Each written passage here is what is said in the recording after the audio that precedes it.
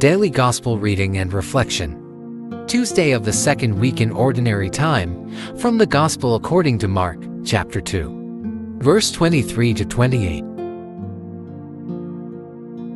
As he was passing through a field of grain on the Sabbath, his disciples began to make a path while picking the heads of grain. At this the Pharisees said to him, Look, why are they doing what is unlawful on the Sabbath?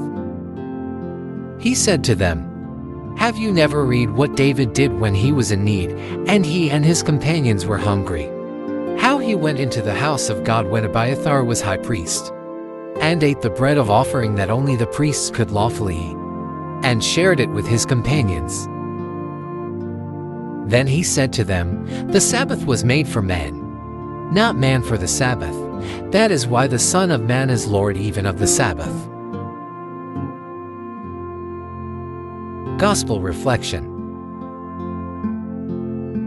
Those like the Pharisees, Christians who put their faith, their religiosity, their Christianity in laws, I must do this, I must do that.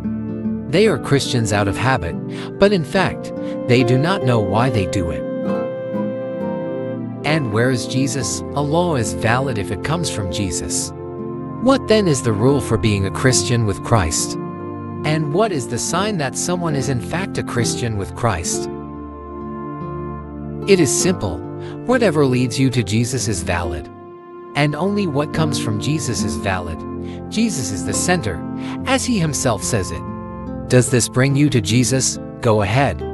Does this commandment, this attitude come from Jesus? Go ahead.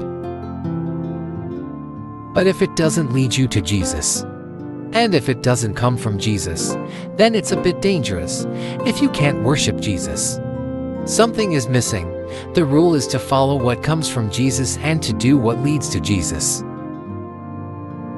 The sign is adoration of Jesus, prayer and adoration before Jesus.